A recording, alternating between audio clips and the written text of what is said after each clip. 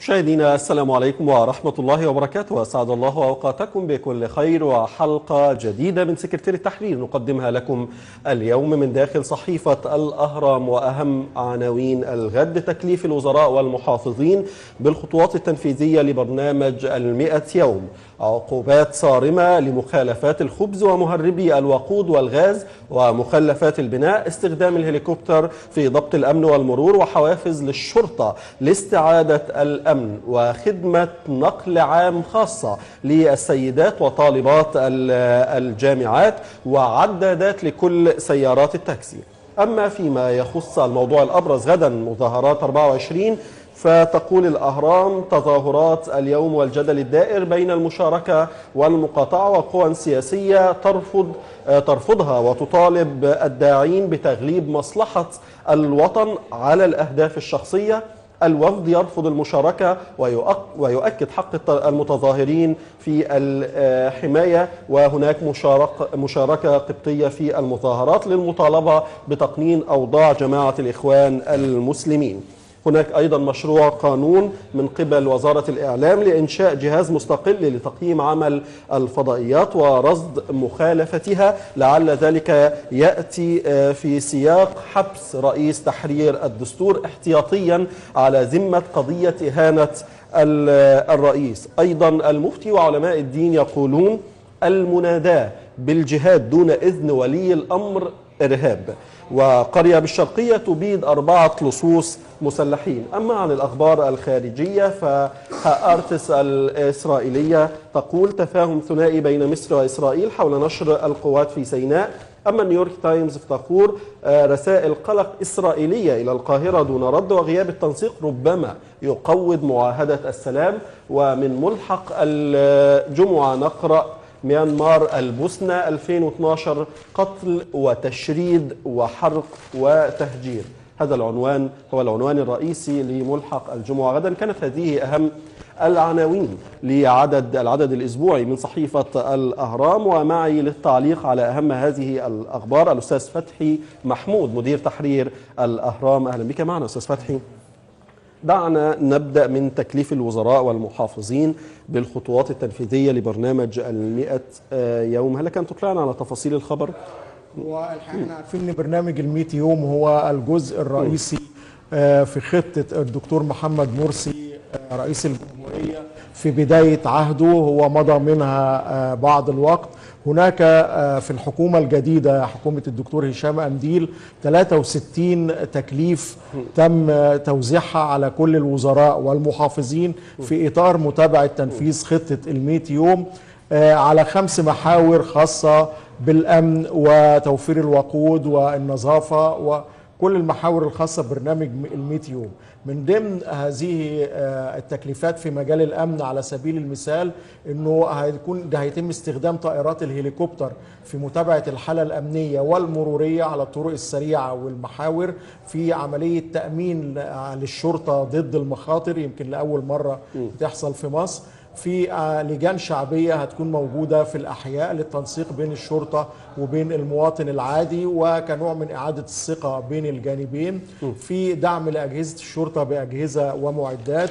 في مجال المرور في يمكن الجديد في الموضوع هو موضوع الخدمة الخاصة لنقل السيدات وطالبات الجامعات وهي خدمة نقل عام للسيدات على وجه الخصوص في عقوبات صارمة هتتم بالنسبة للي بيلقوا المخلفات والقمامة في الطريق وكذلك في عدم الالتزام بمواصفات صناعة الخبز ودي المحاور الأساسية اللي موجودة نعم. في هذا البرنامج أيضا إذا انتقلنا للموضوع الأبرز والذي أثار جدل كبير في الأيام الماضية مظاهرات 24 ضد جماعة الإخوان المسلمين. غدا تحديدا الأهرام تقول أن التظاهرات أثارت الكثير من الجدل بين المشاركة والمقاطعة. هناك قوى سياسية ترفض هذه التظاهرات وتطالب الداعين لها بتغليب مصلحة الوطن على الأهداف الشخصية. كيف رصدتم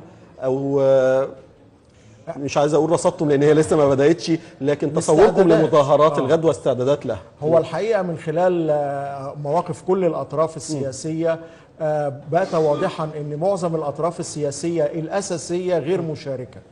وإن الأطراف المشاركة هي بعض الأحزاب يمكن أبرزهم حزب التجمع بعض الأحزاب الصغيرة. فقط بالإضافة إلى بعض المستقلين ومشاركة من بعض الهيئات القبطية.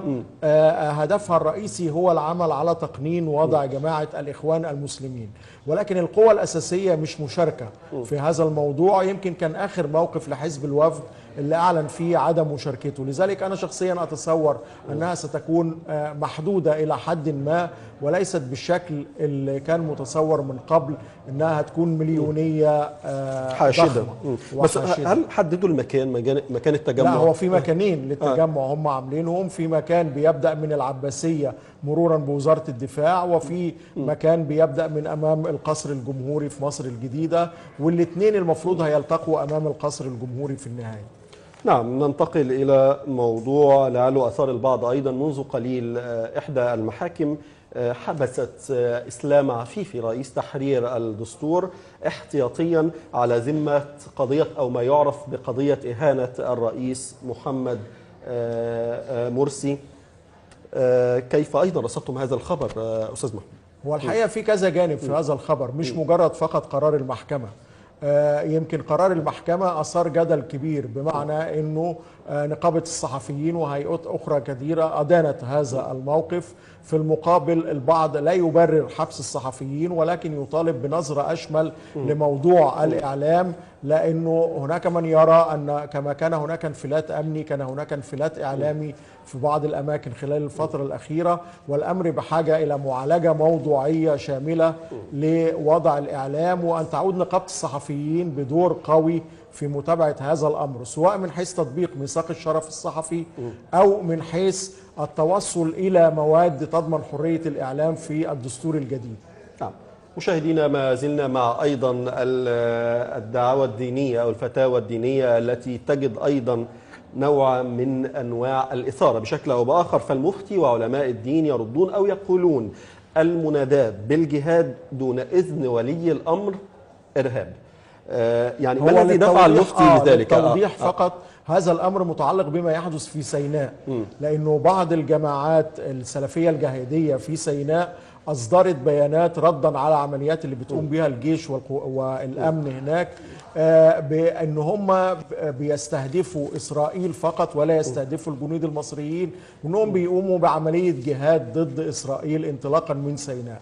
فده كان ردا على هذا الموقف أن الجهاد بيكون ب- آه، عن طريق أولي الأمر. مش كل جماعة بتحمل السلاح وبتقوم هي لوحدها تعلن الحرب على أي دولة أخرى تحت شعار الجهاد. دي ملابسات هذا الأمر اللي آه، غدا المفتي وكل علماء الدين تقريبا في مصر بيؤكدوا عليه على إنه لا يجوز لأي فرد أو جماعة بمعزل عن ولي الأمر إعلان حالة الحرب يقصدون. رئيس الجمهورية آه بالطبع طبعا آه. يقصدوا رئيس الجمهورية والمؤسسات الرسمية طبعا. نعم آه، ننتقل إلى الحوادث مشاهدينا في عدد الغد من الأهرام قرية بالشرقية تقتل أربعة لصوص مسلحين وتعلق جثث هؤلاء على أعمدة الإنارة ما الذي حدث أستاذ فتحي؟ هو الحقيقة إنه هم أربعة بلطجية ح- كانوا بيعملوا عمليات إغارة على عدد من القرى في الشرقية وفي هذا الموضوع بالذات هم أطلقوا الرصاص من بنادق آلية على أهالي القرية بشكل عشوائي ومكثف واصاب القرية بالرعب وعدد كبير منهم آه، إصابات آه، بالغة فأهالي القرية مسكوهم ويعني ع- سحلوهم وعلقوهم على أعمدة الإنارة في مدخل القرية عشان يبقوا عبرة لأي بلطجية آخرين يحاولوا آه إنهم يعتدوا عليهم. بس مع ملاحظة إن أنا شخصيا بتحفظ على هذه الطريقة آه طبعاً. هذه الطريقة لأن هناك قانون في كل الأحوال يجب أن يأخذ مجراه. نذهب آه، سريعا إلى البورصة. فالبورصة تجاهلت الدعوة لمظاهرات 24 ولم تتأثر بل على العكس ربحت البورصة ما يقرب من أربعة مليارات جنيه. سريعا أستاذ فتحي أنا أتصور إن آه. ده ليه مدلول سياسي ومدلول اقتصادي. مدلول سياسي أن الاقتصاد وهو اللي بيشعر بس- ب- ب- ب- عنده حساسية من الأحداث السياسية يشعر أن مظاهرات الغد لن يكون ذات تأثير. وعشان كده لم يتأثر بها. على الجانب الاقتصادي أتصور إنه بعد الإعلان عن الاتفاق مع صندوق النقد الدولي وحزمة الإجراءات الاقتصادية الأخيرة ده أدى إلى ارتفاع مؤشر البورصة إلى هذا الربح اللي هو حوالي 4 مليار جنيه خلال يوم واحد. شكرا جزيلا الاستاذ فتحي محمود مدير تحرير الأهرام. أشكرك شكرا جزيلا. مشاهدينا فاصل قصير ونواصل معكم هذه الحلقة وسكرتير التحرير والعدد الأسبوعي من الأهرام. ابقوا معنا.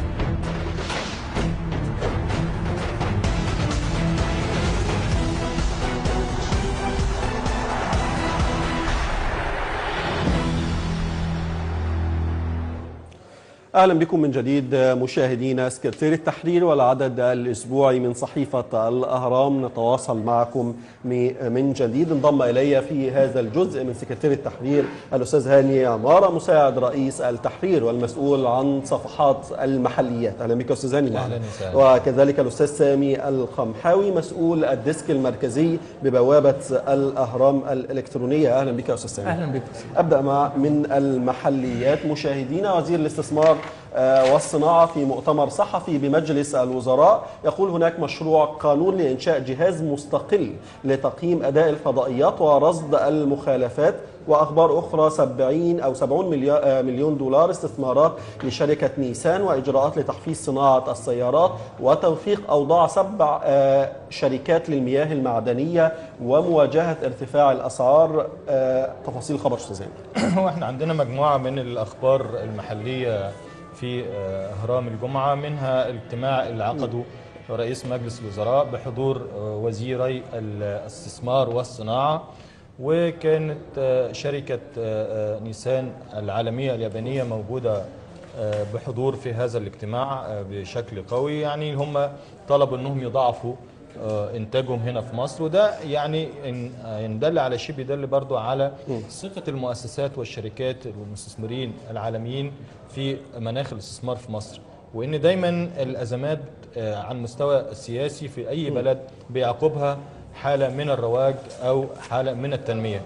ال- ال- ال- الجزء المهم إن وزير الاستثمار آه، لأنه آه، يعني ما كانش مدرج آه، مسألة ال- المشروع قانون الإنشاء لكن هو وزير الاستثمار سئل عن عن ما يتعلق بالفضائيات باعتبار إن وزارة الاستثمار هي المسؤولة عن إعطاء التراخيص لأي فضائيات أو محطات فضائية آه، بتظهر في مصر وقال إن هو دلوقتي في آه، آه، مشروع قانون لتنظيم أو مشروع جهاز لإقامة جهاز مستقل لتنظيم عمليات عمل الفضائيات ورصد المخالفات والكلام ده.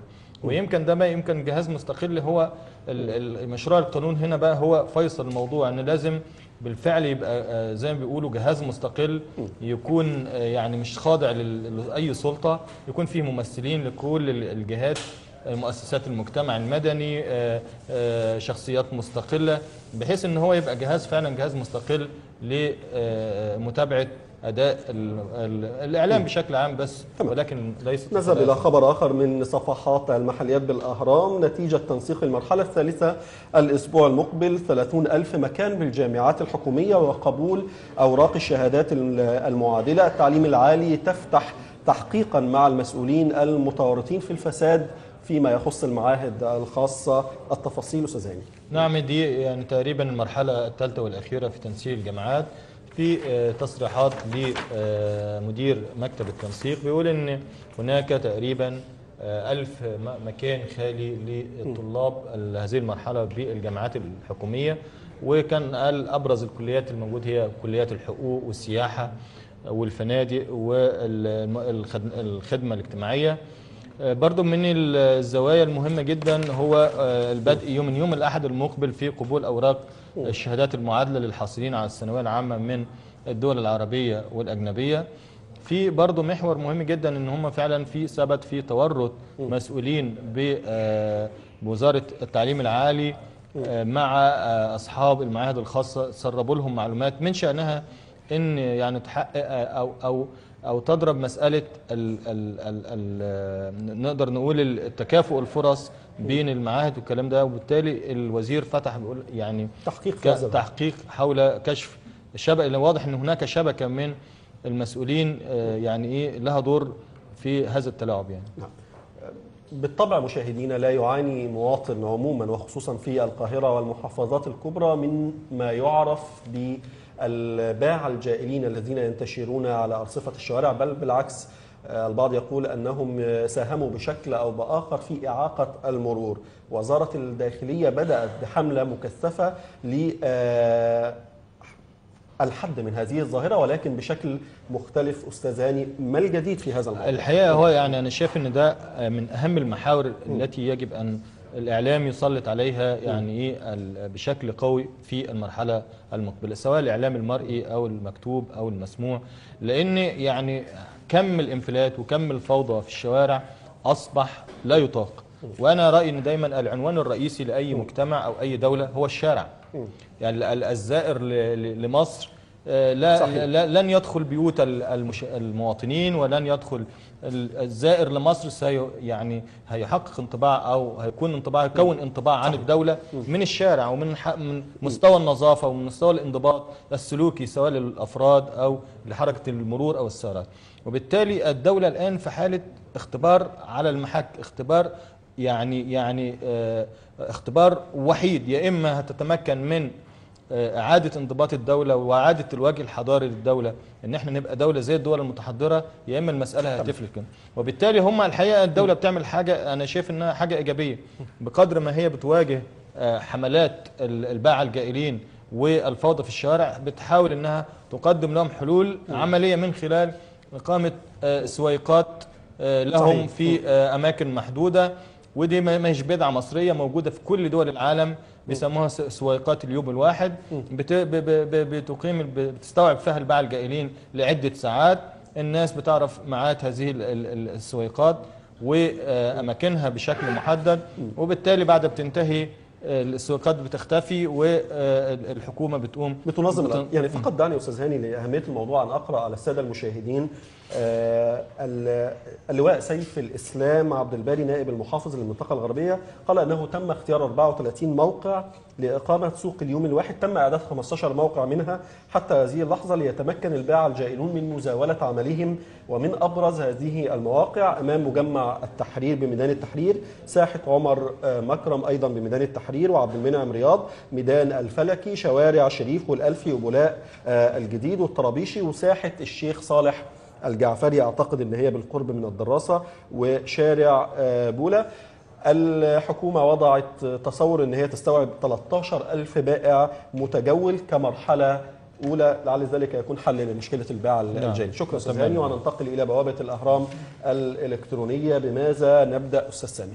آه، الحقيقة ن- نبدأ من أحدث خبر منشور على البوابة بعد حكم اليوم طبعا المثير للجدل على رئيس تحرير ال- دستور. الدستور بالحبس الاحتياطي وهي سابقة الحقيقة لم تحدث.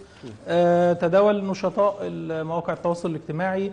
آه، أحد فيديوهات للخطابات الرئيس مرسي وقت حملته الانتخابية. آه، تعهد خلاله بألا تغلق في عهده قناة آه، وقال أو جريدة وأن لا يمنع رأي أبدا. فالحقيقة النشطاء تبادلوا هذا ال- الفيديو آه، في محاولة لل- لل- للاعتراض على ما حدث اليوم من الحكم. مع آه. مع مع الوضع في الاعتبار ان إننا أمام حكم قضاء يعني أمام قضاء يعني أمام, أمام آه، قضاء ولكنها آه. سابقة أن يحدث حكم احتياطي قبل آه، أن أن يحدث يحبس حبس احتياطيا. احتياطيا. آه خصوصا أنه لم يح آه، لم يحل للمحكمة آه، محبوسا. كانت الإحالة آه، عادية. نعم. هناك آه. من آه، كما تقولون من نعم. أسود قصر النيل آه، برئيس الوزراء من الباعة الجائلين. لماذا يستغيث أسود قصر النيل استمرارا؟ للموضوع اللي اتكلم فيه ال- الأستاذ هاني. الحقيقة آه، عندنا عدسة بوابه الأهرام رصدت ال- الوضع على كوبري قصر النيل وهو من المناطق اللي مفترض إنها في وسط البلد. ومن ال- ال- ال- المناطق الهامة جدا على النيل. الحقيقة تحول الكوبري إلى آه، مقر للباعة الجائلين. حولوه إلى كافيتريات مفتوحة. آه، طبعا آه، يعني هي كناية عن استياء ال- الأسود قصر النيل بعد أن جرى ترميمها في الفترة الأخيرة وإعادتها إلى سابق عهدها.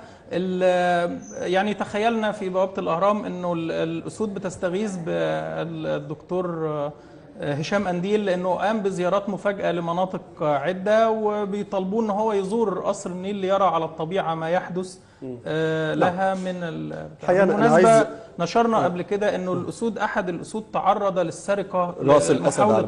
آه. محاولة قطع الرأس رأسه للسرقة فدي طبعا كانت سابق سابق أنا عايز كبير.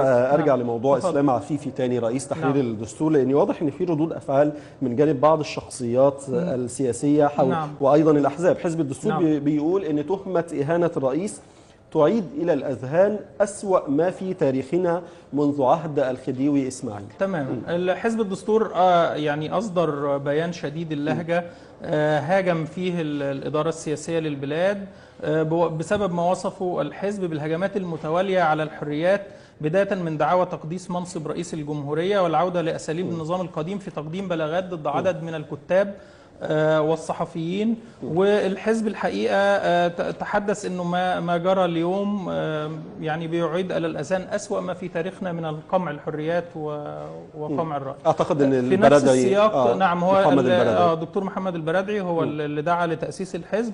آه، دعا هو الآخر في في إحدى تدويناته على موقع التواصل الاجتماعي تويتر. آه، استعجب آه، البرادعي من ان آه، من يهن الرئيس يتم حبسه ومن يتهم الثوار بالخيانة لا يتم تجريمه وكأن ثورة لم تقم.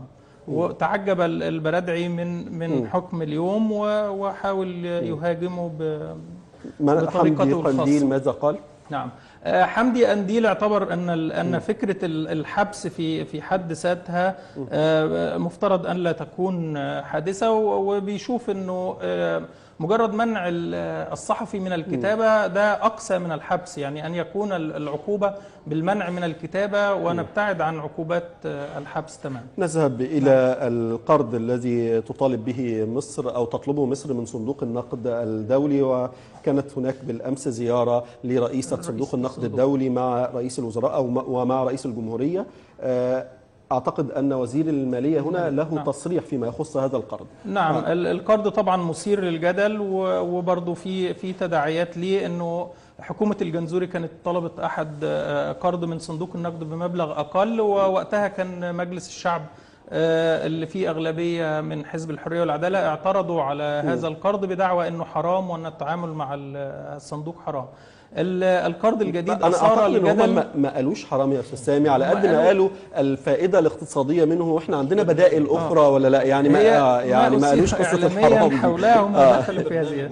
أو برنامج محدد. آه تماما. الاهم آه الأهم من ذلك وزير ال- المالية دكتور ممتاز السعيد أصدر بيان النهارده آه، أكد خلاله من من بين هو سرد أشياء كثيرة لكن كان أهمها إنه صندوق النقد لا لن يتدخل في سياسة الحكومة المصرية وإنه البرنامج الإصلاحي 100% في نفس السياق كانت صحيفة الفاينانشال تايمز قالت إنه آه، إنه آه، تقليص دعم الوقود وتقليص دعم الغذاء وتقليص عجز الموازنة ده كانت شروط آه، فرضها آه، صندوق النقد الدولي على مصر لقبول آه، منحها ال- آه، القرض وفي السياق ذاته إذا يعني كان في إمكانية أنه حزب مصر ال- القوية آه، قدم سبع بدائل مقترحة للتخلي عن صندوق النقد. هو حزب مصر القوية مشاهدينا هو حزب تحت التأسيس نعم. يؤسسه المرشح الرئاسي السابق الدكتور عبد المنعم عبد الفتوح. شكرا نعم. جزيلا نعم. الأستاذ سامي القمحاوي مسؤول الديسك المركزي بالأهرام. أشكرك شكرا, جزيلا. كما أشكرك مرة أخرى الأستاذ هاني عمارة مساعد رئيس التحرير. أشكركما شكرا جزيلا. مشاهدينا ما زلنا معكم فاصل قصير ونواصل هذه الحلقة. وسكرتير التحرير والأهرام ابقوا معنا.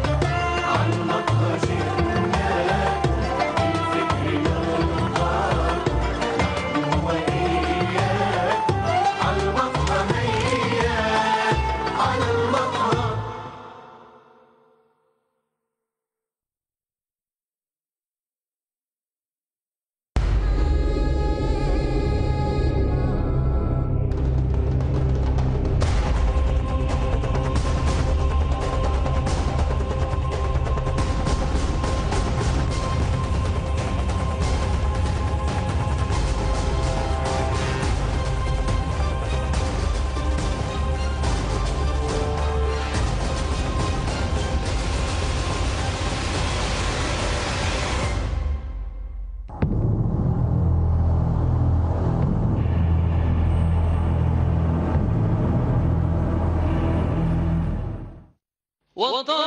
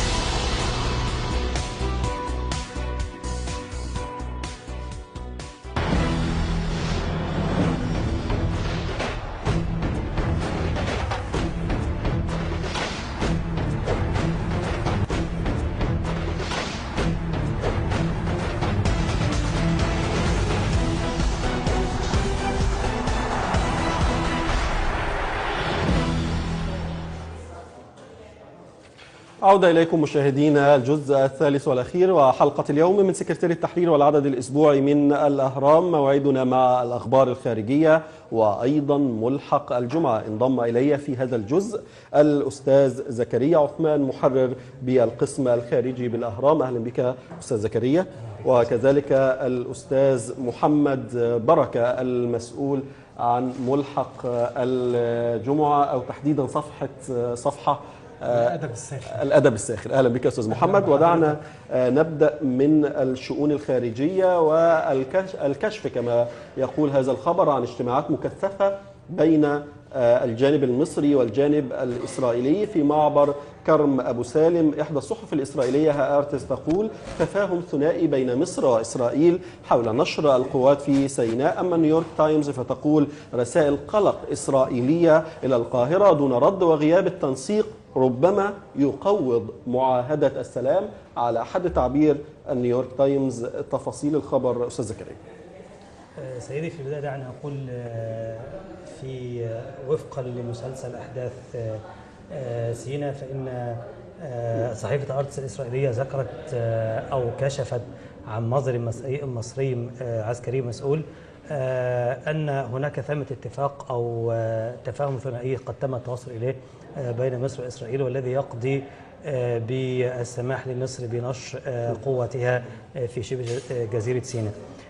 في الحقيقة نقلت هذه الصحيفة عن هذا المصدر الذي لم يدلي باسمه أو الذي تكلم شريطة عدم الإدلاء باسمه وفقا لتصريحات لتصريحاته التي ذكرها أو أدلى بها لوكالة أنباء معا الفلسطينية.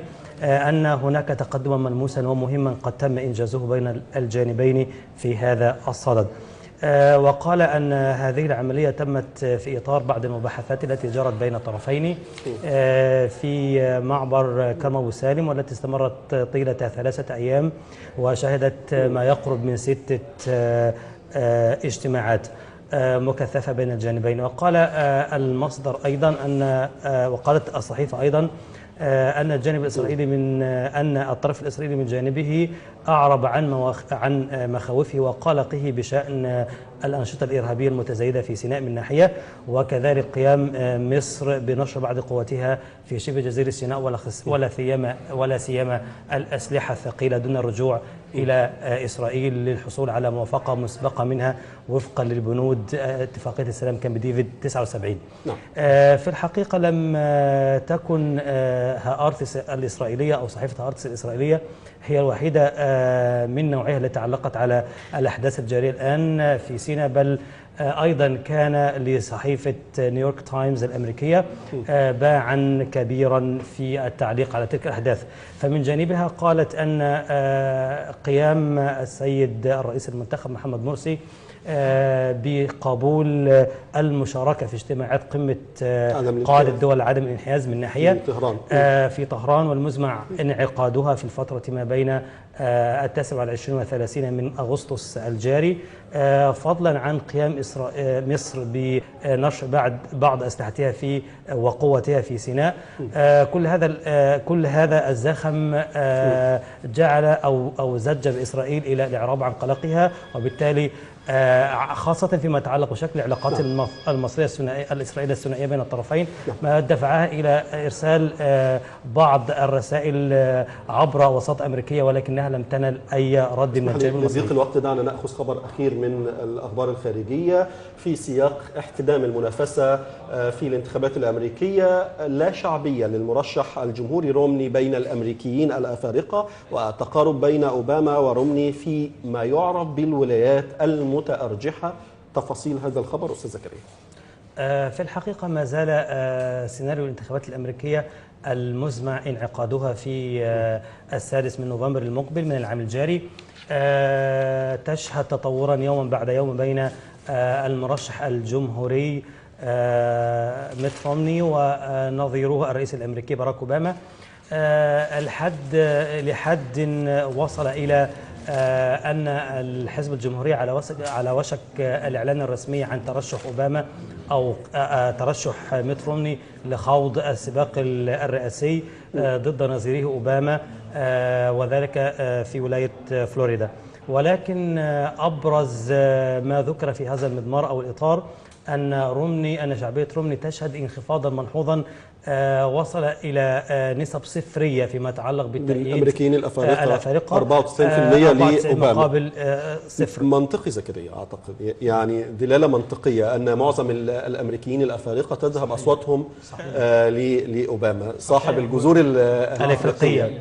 دي حقيقة. وده وده آه، مفارقة مدهشة يعني. لأن يبدو أن لسه انحيازات اللون والعرق ما زالت آه، تمثل. أكبر من فكرة السياسات العامة. يعني في نفس. السياق ولكن في ملحق الجمعة كما يقولون. الخبر العنوان الرئيسي يقولون أن ميانمار البوسنة 2012 قتل وتشريد وحرق وتهجير لماذا؟ هذا الموضوع الآن. السؤال لك يا أستاذ محمد. بركة أو لو لك تعليق صحيح هو زكريا. هو يمكن وإحنا في اجتماعات مجلس التحرير ل- لإعداد قصة ال- الغلاف آه، أنا تحمست جدا ل- لأن يكون هذا الموضوع آه، قصة الغلاف مش مجرد موضوع داخلي. ويعني قلت للأستاذ عبد العظيم الباسل المشرف على الملحق بهذا ال- الاقتراح وخ- وخصوصا التوقيت. وإحنا في خارجين من رمضان وفي أجواء العيد من المناسب جدا إن إحنا نلتفت برضو نذكر ال- الناس بقضية مهمة. بقضية مهمة وبعدين ال- ال- المشكلة الأساسية إنه الأقليات المسلمة حول العالم أصبحت يعني إيه الحيطة المايلة بالتعبير المصري. يعني تعاني من كل المشاكل والمسلمين غارقين في ال- في في يعني في نرجسيتهم في في تفاصيلهم الداخلية منكفئين على ذواتهم. ف ويمكن كان ال- العنوان اللي حطه الأستاذ الباسل موفق جدا إنه قال مانيمار اللي هي عشان نذكر المشاهدين بأنها بورما سابقا يمكن في الذاكرة. الشعبية. صحيح. هي- اللي هي دولة بورما سابقا. آه، وصفها بإنها البوسنة 2012 يعني ال- ال- القتل والتهجير والتشريد تحديدا ضد. أقلية الروهينجا صحيح. المسلمة. صحيح. دعنا نذهب إلى مهمشون في رملة آه، بولاق. اختارت أو اختار ملحق الجمعة أن يذهب إلى رملة بولاق ويتحدث عن هؤلاء المهمشين كما يطلقون عليهم هنا. آه، ماذا في هذا الموضوع؟ آه، يعني آه، من من الأحياء الشعبية اللي بتقدم صورة صارخة ل- لحياة اجتماعية سيئة جدا جدا جدا. يعني مستوى معيشة تحت خط الفقر وصورة بشعة للخدمات. آه، وفي الحقيقة يعني الناس بتشوف الكلام الجميل عن الثورة في الفضائيات وبرامج التوك شو والنخبة وصراعاتها. لكن في تنزل على أرض الواقع تكتشف تلاقي صور صادمة إنه كتير لسه قدامنا مشوار طويل عشان نحقق شعار العدالة ال- الاجتماعية. فجولة الكاميرا في ملحق الجمعة بتحاول آه، تبحث عن مناطق قد تكون صادمة صحيح. لكنها مهمة جدا إن لك, إحنا لك أن نكتشف. تتخيل يعني أن المناطق دي آه، يعني خلف أبراج مرتفعة على نهر النيل لكن صحيح. لا أحد لا أحد يعرف عنها شيء يعني أنتوا صحيح. الحقيقة جايبين هنا أرقام مهمة 2000 أسرة معبئون في عشش غير آدمية يعانون مثل غيرهم من سكان 1300 منطقة عشوائية نقص الخدمات الحيوية هؤلاء هم سكان منطقة رملة بولاء الذين حرموا من مقومات الحياة الأساسية ويعانون البطالة وضيق ذات اليد ولسان حالهم يقول رضينا بالهم والهم مرضيش بيه. موضوع مهم. صح, صح. مو- مهم جدا. وبعدين الأصوات اللي بتحذر من ثوره جياع يعني ممكن تكتسب مصداقية مع الصور ديت. صحيح. دعنا نذهب إلى موضوع مختلف. آه، وساخر عبد الوهاب و100 سنة قفشات ومقالب لم يعرف عن عبد الوهاب مسألة القفشات والمقالب صح. بالعكس يعني في ذاكرتنا دايما آه، شخصية رصينة يعني صحيح آه. وهو, هنا عشان كده فعلا ده الجهد اللي عملته الزميله هبة عبد العزيز في إنها فتشت في موسيقار. في الوجه الساخر الضاحك لموسيقار الأجيال إنه آه آه لا هو كانت قفشاته آه، ونوادره افهاته مرتبطة بعدد من الطباع الشخصية زي الوسوسة الشديدة. آه، لما تشوف وسوسة عبد الوهاب ب- ب- ب- بتحصل على نكتة حقيقية مش متألفة. يعني على سبيل المثال في إحدى المرات زوجته السيدة نهله القدسي وهو هو كان موسوس قوي من حكاية العدوى في البرد. فهي آه، عندها آه، وهي اتصدمت وهي لسه عروسة جديدة جالها نزله برد فلقيته بيعمل نوع من التمييز العنصري بينه وبينها. فرض عليها الإقامة الجبرية الجبرية في الغرفة الأخرى وبيكلمها في التليفون وكمان وهو حاطط منديل. وبعد فترة حس إن المسألة قاسية جدا. فسمح لها إن تقرب على بعد خمسة متر وقال لها تبقى حاطة المنديل بالطريقة دي. في مرة من المرات رايح آه، معزوم آه، عند يوسف بيك وهبي. فلما وصل للفيلا بتاعته اكتشف إن المية قطعة فقال للسواق قبل ما يدخل لف وارجع بيا تاني. فللدرجه دي كان حريص على النظافة وموسوس جدا. آه. لدرجة إنه في إحدى المرات يوسف بيك وهبي قال له على فكرة عبد الوهاب أنت في الحياة الأخرى هتتعذب جدا. لأنه ال- ال- ال- الجحيم ما فيش فيها مية وأهل الجنة مش محتاجين يغسلوا إيديهم فهتعمل إيه؟ هنا هنا في عنوان لافت للحياه لماذا احتد على فايزة أحمد صريخا؟ الجوازة دي مش ممكن تتم النهارده. إيه إيه المقصود؟ صحيح إنه ال- ال- الجميلة ال- صاحبة الصوت الذهبي فايزة أحمد في مرة من المرات كان عندها نزلة برد. هو شك وهي كانت بت- بتعمل بروفات معاه وهو بيلحن لها الأغنية. فهي يبدو ان هي حاولت تتذاكى عليه وما تبينلوش إن عندها نزلة برد لكنه حس ب- ب- ب- ب- بجهاز الوسوسة اللي بيلتقط أي ذبذبة. فقال لها من فضلك قولي لي ممنون. قالت له ببنون. قال لها يا فوزة بيهزر معاها بيدلعها. الجوازة دي مش لازم تتم يقصد الأغنية دي البروفة مش النهاردة. هتتم النهاردة. نعم. إذا محمد عبد الوهاب مواليد 1902 حي باب الشعرية وتوفي عام 1991 في 3 مايو عن عمر يناهز التاسعة والثمانين عاما وشيعت جنازته في الخامس من مايو في جنازة عسكرية مهي- مهيبة لأنه أعتقد أن زعيم جمال عبد الناصر هو من أعطاه رتبة لواء. صحيح صحيح. وعشان كده كان بيتقال عليه ال ال اللواء الدكتور آه، محمد. فعلا آه لأنه حصل على الدكتوراه الفخرية وعلى درجه رتبة لواء شكراً. في, في سابقة يعني من نوعها. شكرا جزيلا الأستاذ محمد بركة والذي علق معنا على أهرام أو ملحق الجمعة ملحق الأهرام. وكذلك أشكر الأستاذ زكريا عثمان المحرر بالقسم الخارجي. أشكركما شكرا جزيلا. والشكر موصول أيضا لكم مشاهدينا على حسن متابعتكم لهذه الحلقة من سكرتير التحرير دمتم في رعاية الله وأمنه. السلام عليكم ورحمة الله وبركاته.